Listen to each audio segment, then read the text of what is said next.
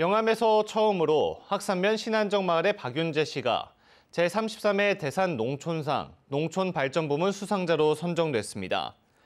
박 씨는 지난 2000년부터 왕우렁이를 활용한 유기농 벼농사를 시작한 후 친환경 농업 확산에 앞장서 왔으며 농업과 농촌 발전에 기여한 공로를 인정받았습니다. 대산 농촌상은 교보생명 창립자인 영암 출신 대산 신용호 선생의 철학을 통해 제정됐으며 농업 분야 국내 최고 권위의 상입니다.